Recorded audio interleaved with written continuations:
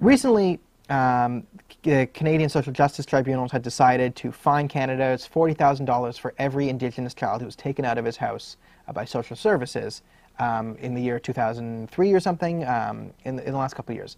And okay, listen, as I said, if I'm okay, if, if I didn't punch a hole in the wall when Omar Khadr got $10.5 million of taxpayer money, I'm going to survive Indigenous kids who are taken away from their families getting $40,000. Okay, that's not that's not what I'm mad about here. What I'm mad about here is the system that does it to them, and the fact that the system that oppresses and humiliates and keeps the native Canadians poor and destitute forever is not allowed to be challenged because of political correctness.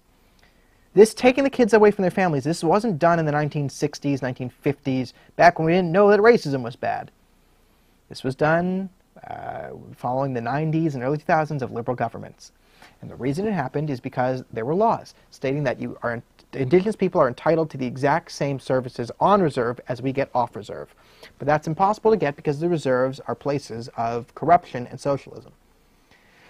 The reserves are these sort of socialist havens, and please don't tell me that socialism and reserve culture was part of uh, the Aboriginal experience in 1607 before Samuel de Champlain landed on Quebec City. No. The reserve systems are designed to fail. And what they do is they fail because they are designed to do so. So if you're entitled to the exact same amount of services on reserve as you are off reserve, it's kind of hard because, right, the reserves are owned collectively by the, uh, by the tribe. It means no one owns land individually, so collective land ownership, which means if you want to develop your land, you want to innovate, you want to do something new, you, want, you can't really do that, right? You don't have control over that. You have to go through a committee, you go through a committee to go through the government. So the committee controls you, right? And then all the money goes down into that committee. So they don't really have an incentive to change anything because all the money is running through them. Then if you want other services, right, you need health, right? A lot of these places are northern, right? You need um, different services, right? Services in urban areas aren't equal to those in rural areas, indigenous issues aside. Right? You have, then you add in the fact that, okay, we're usually going to a northern rural area, then we're adding an indigenous element. Now some rural communities can get you know, buoyed by sort of emigration to them, or immigration to them, sorry. You could get, you know, doctors or nurses or outsourced schools that come to them. But you don't really get, you know, we'll say white people, black people, you know, non-native Canadians, they don't move on to the reserves because it's collectively owned, because it's for those people to help them with the services, which means you'll never be able to get equal services. So what did the government do? Because they weren't getting equal services there, they ended up taking the kids out of the families to the place where they can get better services. Now this is bad because you shouldn't separate kids from their families unless there's, you know, physical or sexual abuse going on. So this was caused by do-gooder idiocy. Not evil, conservative, whatever, whatever. And no one's willing to talk about this. No one's willing to talk about it. It was actually a confusing amount of laws and do-gooder law after do-gooder law after do-gooder law stacked on top of a failing socialist system that caused these problems. So the way we need to help the indigenous, because they they do deserve equal treatment, is we need to be talking about this. We need to be talking about restructuring the reserve system. We need to talk about maybe dissolving the councils and the community ownership and giving people private ownership over their lands and, and rights to, to do with their land what they want to do with it, just like all other Canadian citizens. But our big focus is sort of on truth and reconciliation. And here is what I want to hit on, because truth and reconciliation, I actually think, can save Canadian society and help push us forward, and, and is a lot of what the West is, is our biggest enemy right now is historical inaccuracy. And the way the left works is, you see this when they take down Sir John A. Macdonald statues. You decontextualize history, you misinterpret history, then you erase the history, right? Decontextualize the concept of John A. Macdonald, right? Oh, so he was, uh, you know, oh, he said bad things about the natives, right? Then we misinterpret it, right? We don't say that, you know, his government actually, although not perfect, and although 150 years ago, they actually fought against even more draconian laws against them. So John A. Macdonald by the Times was actually was not that oppressive. Then we erase it by taking away his statue. This helps no one. And while we're trying to build these uh, the image of the natives, and, and I took a, I mean, in university was, was real eye-opening to, to how we view Native American society. We are doing the same thing to the natives. We're, we're erasing their history and replacing it with fantasy land. Now, I've known this because I've seen how universities deal with Israel-Palestine, right? It, they don't teach history, they just teach Fantasyland. They don't teach Canadian history, it's Fantasyland. They don't teach you know, native Canadian history. It's all fantasy land. And I've talked out from people from India and Japan, and it's the same, the universities do the same thing to their culture. We all, we all actually have, suffer from the same problems from the radical left. I'll give you an example of what I was told. Basically, I took a course called Human Geographies where you learn nothing about human beings or the concept of geography. In every single class, we talk about something that is bad, and then the teacher will go, and this is just like how Canada mistreated the Aboriginal people.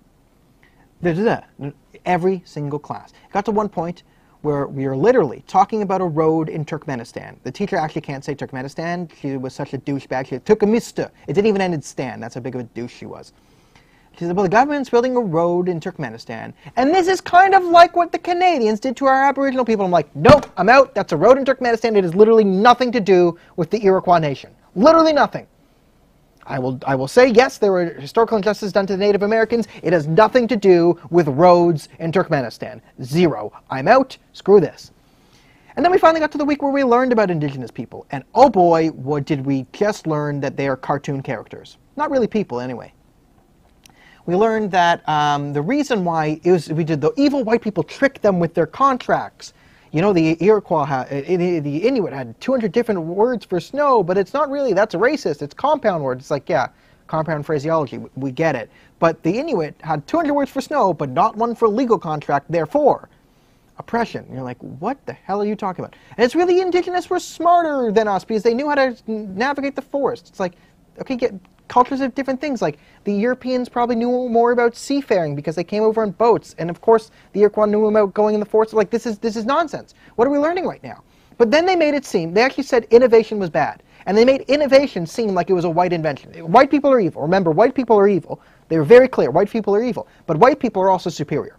The whole thing was basically distill. You could distill it down to white power, and the way that that human geographies is taught and all other you know social justice courses are taught.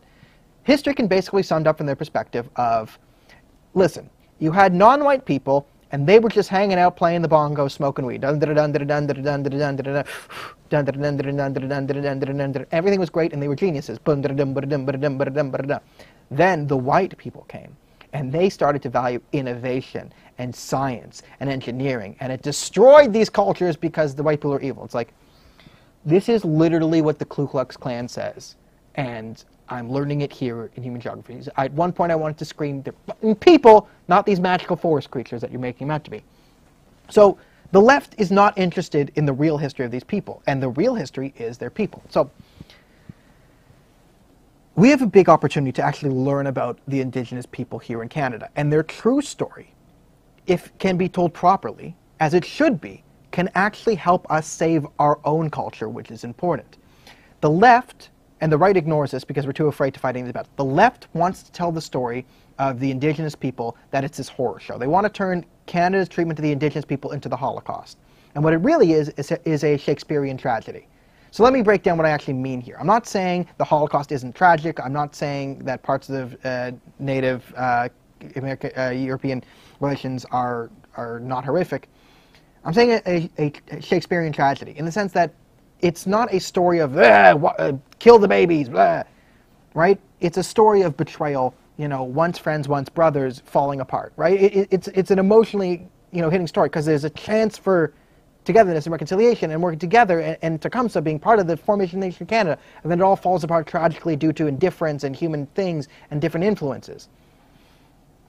So again, I'm not saying the Holocaust isn't tragic, but the Holocaust is, is a horror show. There's no, oh, if Hitler had just, you know, done this or the Jews had done this. No, it was literally, let's build the camps and murder all these people. It's utterly horrific, right? There's no, oh, the Jews and Germans just couldn't get along. It was horrific from scene, from scene one to scene, scene end. But that's not the story of the natives. When they get here, there actually is a lot of cooperation, uh, a lot of, uh, you know, this, oh, the British tricked them by playing these people off each other. Guys, come on. The British didn't invent this. Everyone, like Alexander the Great did this, Genghis Khan did this, the Mongols weren't the most, you know, intellectually advanced society, but they figured this out. Right? The Micmac, as you said, the Micmac made a living off of playing the English off the French and the French off the English. The Micmac weren't stupid. There's politics. They realize there's people that go blah, blah, blah, and there's people that go blah, blah, blah, blah, and the blah, blah, blah, blah, blah, don't like the blah, blah, blahs. So whichever side was losing, they would prop up that side because they wanted to keep both of them there so they could keep getting the best deals. Doesn't sound like people who are confused by legal contracts to me. They didn't have land. Look at a fort built. Look at an indig- an Iroquois fort, okay, and tell me they didn't understand land ownership. So get that garbage out of here. Oh, they were these peaceful people, and the Europeans brought war. The border between Ontario and Quebec is literally the the current battle line between the Algonquin and the Iroquois when the Europeans landed. Okay, so throw all that out. Now, even within different subcultures and different nations, and I'm not an expert on everything, right? You had you had Cree who would support the uh, British, Cree who would support the French, Cree who who didn't support either, Cree who traded, Cree who committed massacres, Cree who got massacred. It was a whole conflict of people. It was human beings trying to interact with human beings. There was raiding, there was trading. So when the French were finally defeated, the Plains of Abraham, and they left, there was a new balance restructuring in, in North America. And good for the natives, or good for the natives this time, is the Americans that started a revolution. Right? So it actually reestablished the power balance. It wasn't now between British and French, but again between Americans and British. And when the Americans invaded Canada in the War of 1812, who saved Canada? Right? The only reason that Canada was saved was because of the Pan-Indian Alliance, or Pan-Indianism created by Tecumseh. And one of the things you have to understand about the natives is they are never they were never a homogenous people except for about two years under Tecumseh. And when he died, it all fell apart. So Laura Secord, right, our you know Paul Revere, when she found out the Americans were going to invade a village, who did she go to? Right, I believe it was Cree warriors. I could have been wrong about that, but it was indigenous. She Uh, notified indigenous people, and they stopped the American raid on a village. They saved people. Right, without Tecumseh, Canada doesn't exist. Without the native coalition taking our side, Canada doesn't exist. That's something we have to acknowledge. And the natives wouldn't have backed us if it was all rape and murder and pillage forever. I'm not saying it didn't happen. I'm not saying Cornwallis didn't put out scalping. Thing. I'm not saying none of that happened. But I'm not saying that wasn't the, I'm saying that wasn't the only thing that's happened. And until you acknowledge the truth, which is we were once brothers, once allies, that that fell into a pattern of betrayal, mostly out of apathy, mostly out of convenience, most of out of out of out of forget. Right when the Americans when when the when the Americans wanted to expand, we had to expand westward. So the people who were saved in 1812 were replaced with Europeans coming in to settle those lands in the 1840s. And they didn't have the same affinity. They didn't remember what Tecumseh did for them. Right? And then problems started to get bad. Then Sitting Bull happened. Okay, then there was problems. And then because of the problems, other people attacked other people. Things got messy. Right? People got isolationist. We ended up turning our back on them.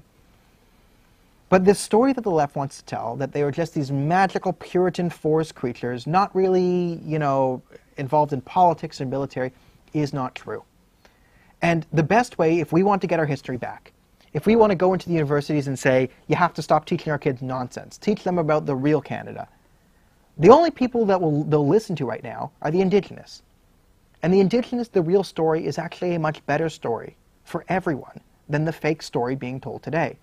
You know, back in the racist times, they were just wild savages who will kidnap your kids and, and scalp them and, and do all horrible things. That's racist and evil. But now we have the noble savage. Now we have the cartoon characters. Now we have the pot-smoking, bongo-playing hippies who are just sitting in a forest having a good time, who were destroyed by the white man. Neither is true. Neither is true. They were human beings with human failures, prone to human political decisions. And until we can tell the real story of them, there'll never be truth, and therefore there'll never be reconciliation. And if we can find truth, right, if we are able to say this is what happened for the natives, then we get a part of our history back because it's a shared history. And this is what we need because if we don't learn from our history, we're doomed to repeat it. And the left's number one crusade is to erase it. And I think the pathway to saving Canada is actually through the Indigenous and truth and reconciliation.